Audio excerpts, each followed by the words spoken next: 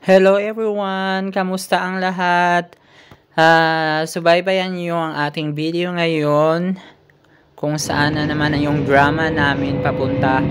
So gumala pala kami ngayon papuntang Subskimos kasi uh, bibili kami doon ng okay na sa textile kasi tag 1 euro na lang po. Pagdating namin doon tag 50 cents na lang po. Kasi yung parang paubos na nila na mga benta, tapos magbubukas na naman sila by Monday ng bago. Yan dun yung pinaka mura dito. Kung pupunta kayo ng bansang Croatia, uh, pumunta kayo doon sa textile, mamimili kayo yung mga sikanan na mga damit, mura lang. Tapos, okay pa naman siya yung mga quality, mga original yung iba. Tapos, pag sa grocery, sasaba kayo pupunta.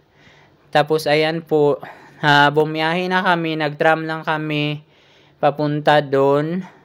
Kasi tram, yung mga transportation dito, tram at saka bus. Dito po banda yung sa glab nito. Tapos, ayan, kasama ko si Jason. Nasa loob na kami ng tram or uh, train po dito sa bansang Croatia. So, pumunta kami sa Subskimos kasi doon may textile din doon. Yung mga sikanhan na okay. Tapos, uh, yung iba, napuntahan na namin. Ito na lang yung hindi. So, tag 1 euro na lang pala yung mga damit. Kompleto dito pang bata at saka pang matanda. Kaya, pinuntahan talaga namin kasi mura na lang siya. Minsan lang sila mag-sale. Mag Parang last sale na sila para maubos lang yung mga product nila. Tapos mag sa by Monday magbubukas na sila ng mga bagong stocks na naman. So pag mga bagong stocks is mga 15 mga 12 para ganun 7 5 pero pag yung parang pa-sale na sila mag 2 sila 250 yung 1 1 at saka 50 cents yung pinaka last kasi pinapaubos lang nila yung mga stocks nila para magbubukas na naman sila ng bago nilang mga stocks. So, nung dumating pala kami doon, uh, isa lang yung nabili namin yung jacket na pula pero hindi ko na binidyuhan. Tapos, umuwi na rin kami kasi dumating yung friend ng friend ko na galing sa Qatar tapos sa uh, gusto ko, may pinadala kasi kaming tuyo doon so kukunin ko na sa kanya. Tapos magsaing muna ako pagdating sa bahay kasi dalhan ko ng pagkain yung friend ng friend ko. Kasi andun yung tuyo, kukunin ko rin sa kanya kasi namiss na namin yung tuyo. Kasi walang tuyo dito sa bansang Croatia po merong mga tuyo yung parang dala-dala sa Pilipinas pero dito is wala sila sa ganyan. So, mahal po yung mga seafoods po dito sa bansang Croatia. So, dumating na kami dito sa Savskimos uh, station. Ito pala yung pinaka-last. Tapos, lalakarin mo lang ng unti doon pabalik. Tapos, makikita mo doon yung ayan, may bus din dito na kasi ito yung pinakadulo may bus station, may train station po dito. Tapos may mga tisak dyan, mga grocery na maliliit. Parang maliit na tindahan sa Pilipinas lang. Tapos nilakad na namin doon papunta sa unahan lang yung textile. Tapos pagdating namin doon, unti na lang po, limited na lang po, ayan po. Limited na lang yung mga natira kasi paubos na nga ho gawa ng last sale na po para magbubukas na sila by Monday ng bagong mga stocks. So, isa lang po yung nabili namin tapos nagchat na yung friend ng friend ko na andito na daw siya sa bansang Croatia. So, wala pa daw siyang kain. So, nagmadali din akong umuwi tapos nagsaing, nagluto at na dinala ko sa kanya doon para makuha ko rin yung pinadalang tuyo. Pagkatapos noon, nagtaxi na ako kasi uh, alas 7 na po ng gabi. Uh, akala ko malayo yung hostel na kinuanan niya. Tapos, pa- pagka Sunday, nagkita kami ni James. Ayan si James. Yung ka, kilala ko to dati sa Qatar, yung sister company namin ng Hardis. Ito pala yon si James. yung tumakas. Andito na siya sa Croatia, charot. Si James dyan, ang bait niya, nilibre niya ako. Galing kami nagsimba, nagkita kami doon sa Brent, Ski Station. Tapos nilakad lang namin papuntang uh, uh, main square. Kasi may kuan pala doon ngayon yung parang banda ng Baby Lasagna. Ang raming tao, parang may concert doon kanina. Tapos hindi na namin, nilakad lang namin yan papunta doon. Malapit lang din pala kasi close dito, walang, tra walang train. Tapos andon, nilibre na ako ni James dito sa burger. Tapos kumain kami bago kami lumabas.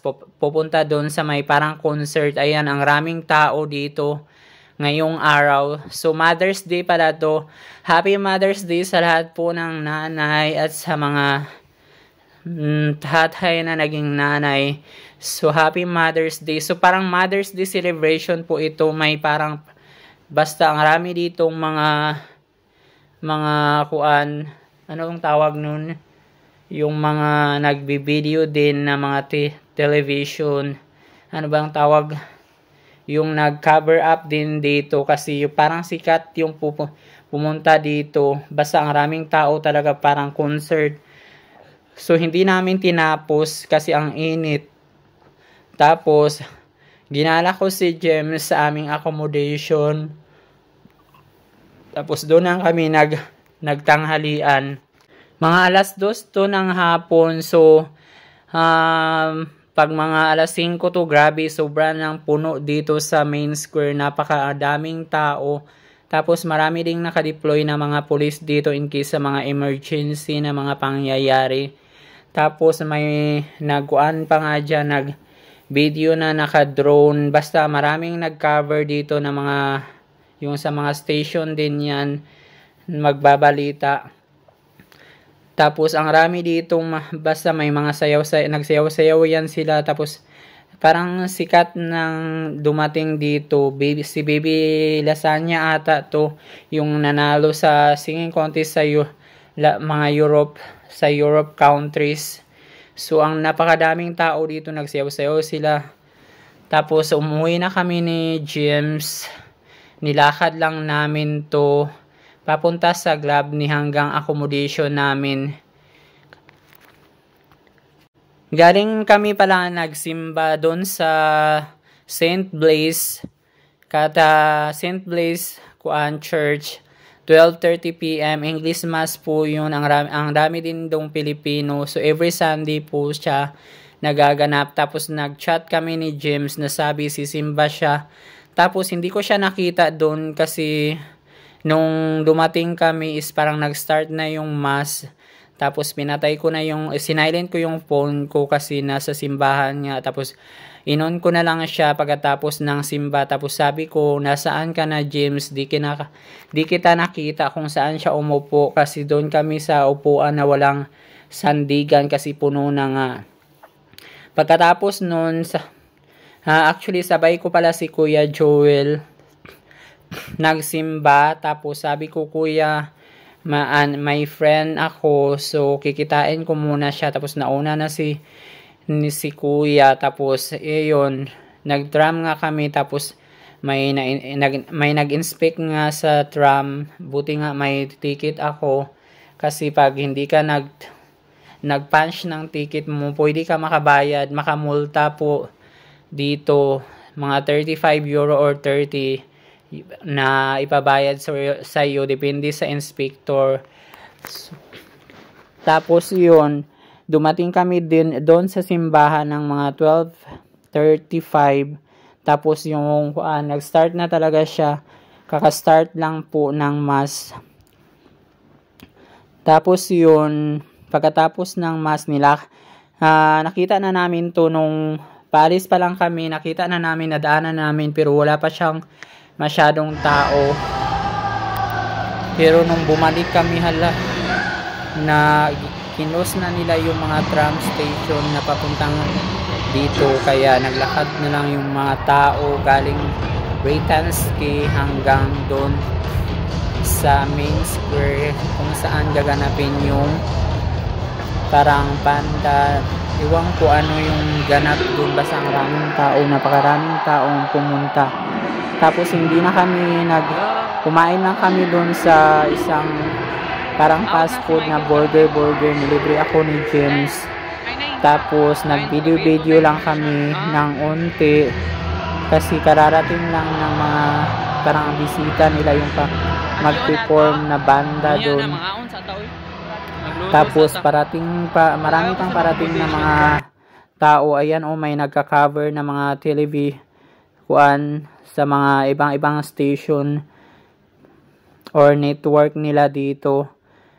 Maraming nagka-cover dito tapos may nagbabalita pa nga tapos may pa-drone pa sila. So ang raming tao dito kanina so nataon siya sa Sunday ng Mother's Day. So nag parang nag-out din nag-outing din yung mga family dito so hanggang dito na lang muna ang aking mga drama so abangan pa po ang aking mga video sa susunod na aking pag-a-upload. So, ayan, ito pa uwi na kami nito sa sa bahay, sa accommodation. Nilakad lang namin kasi wala nang tram kasi close talaga. So, dumaan na kami dito sa club ni, tapos nag-shortcut kami papunta doon sa Sheraton. So, malapit din pala, no?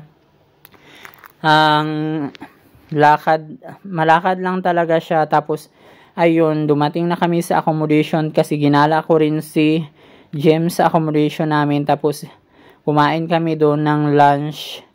Tapos, natulog siya ng unti. Tapos, umuwi na rin siya pagkahapon. Hanggang dito na lang. Thank you and God bless you everyone. Sa next video na naman tayo.